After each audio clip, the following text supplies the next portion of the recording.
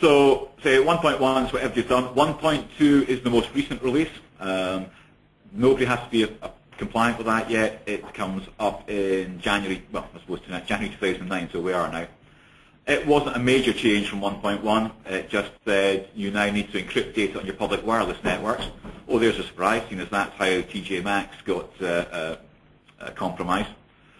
But this is moving forward as well. We've got PCI 2.0 coming up maybe later this year, early next year, and it's likely to be a larger change, a broader change. Again, looking at wireless uh, networks, but there is also some talk of them starting to look at the card uh, capture devices as well, which are seen as a um, a weakness. So taking a study that was done quite recently by Imprivata, um, is your company compliant with PCI DSS, even though they're supposed to be? Um, Two-thirds almost were not. So the question there is, are you as organizations, are you yet compliant with PCI DSS? Again, little poll. Can you uh, just take a moment to, to click one of the buttons and, and hit submit, please? That's good. 13% there are nice and confident. Yes, we are compliant. Uh, but the vast majority um, are either not or are not sure. Uh, and I would suggest that's a worrying place to be, uh, as this can have a significant impact on, on your business and how to uh, uh, do business. So on that topic, Why should you actually do something about this? So what?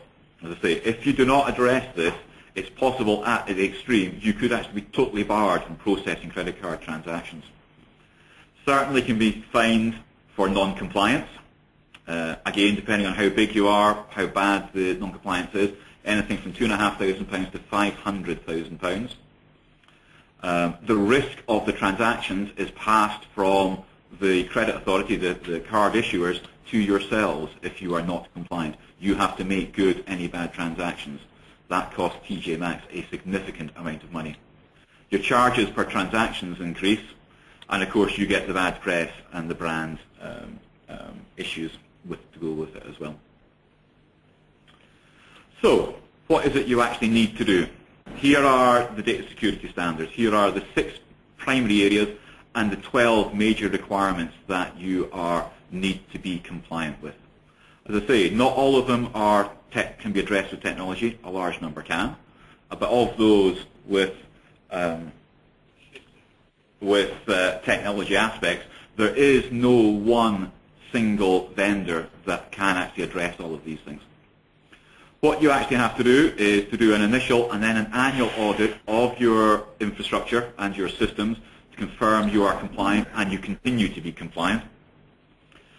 You need to be certified by auditors who, again, in themselves are certified by PCI that you are compliant. And these guys can also advise you on what action you need to take to become compliant. And finally, 2010 is a deadline for acquirers to compliance of all their merchants, all the way down to level four. Beyond that point, you're opening yourselves up for fines and uh, increased transaction charges. So at this point, I shall pass over to my uh, colleague, James Anthony, and he'll start taking you through some of these uh, requirements and perhaps some of the things we can do to help you address them. James, I'll hand over to you.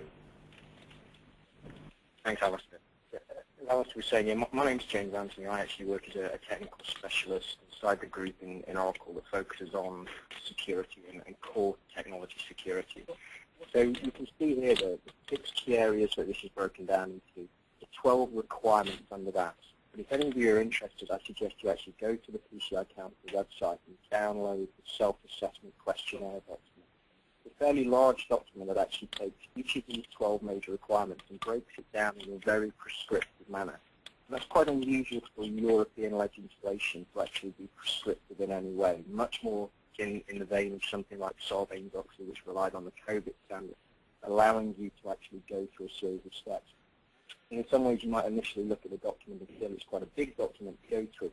But much of what's in there is very much common sense. It's a great platform for general I'm going to look at the, uh, first few first two here, which is install and maintain a firewall configuration and don't password. But clearly Oracle don't do firewalls as such, so we don't do the Typical firewalls you have out there. It will stop intruders coming in with that, that initial barrier between yourselves and the outside world. But what we do have is a series of recommendations. And there's some links that are included in the slide deck if you choose to download it, such as the Database Security Guide, our Database Security Checklist, etc. that allow us to make sure defaults aren't in place and you follow what we're describing as best practice in there. One of the things that uh, I, I, will also talk about in here is, is the ability we have to, to actually pick up some default passwords, etc. as well. And I'll deal with that when we get onto developing and maintaining a secure system. The next two I'm going to look at are actually protecting stored data and encrypting the transmission of data as we flow the data across the public networks. One of the things Alistair referred to was the fact that TJ Maxx were actually compromised through a badly configured Wi-Fi network using the WEP protocol. The, the intruders broke into through one of their stores and then began to compromise more and more of the first thing we can do around protecting cardholder data is what you would class as real-time masking. So hiding key columns. Specifically, if you look at the DSS standard, what you'll find that they're looking for is hiding things like the PIN numbers, credit card validation code. Credit card numbers in many cases themselves from people that shouldn't have access to that. So with Virtual Private Database, which is a core function of the Enterprise Edition release of the database, we can hide both rows and columns from users depending on a context. This is what you may hear referred to as contextual authorization. So based on the context you are, restrict access customers I've been working with, we've used this to say that people in the call center can't access credit card data. We've restricted rows from command line tools that DBAs may have, database administrators for those of you not aware. So they, they may have these command line tools such as SQL Plus, SQL Developer, Code, that allow to get large volumes of data in one go.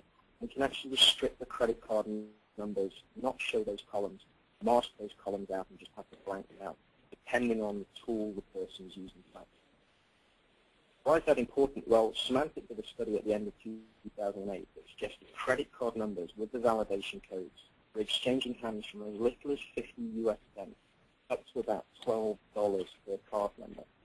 Not a lot of money in any way, shape, or form. So actually, the criminals there intending to do this for profit purposes, and there's very little reason they'd be doing other than profit it doesn't make sense for them to take individual cards. It makes sense for them to go after where card data is stored in bulk. Clearly, databases are where the majority of card data is stored in bulk. Second thing we can do is actually encryption technology. So encryption is very good. It stands up in court. If you look at many of the U.S. states that have legal obligations to disclose loss of data, if the data is encrypted, that legal obligation to disclose goes away. From an Oracle perspective, we have various pieces of technology that allow us to encrypt data throughout its entire life cycle. So at the database level, we have something called transparent data encryption. It allows us to encrypt even columns, so specifically thinking about credit card numbers, or entire table spaces, which is just the sort of bucket of data like data goes in. Can protect the backups if they go to disk, or if to tape from beyond there, which means that when we ship our tapes off to a third party, that tape is adequately protected. And that is another key requirement of the data security standard. The great thing with this is changes in any way, shape.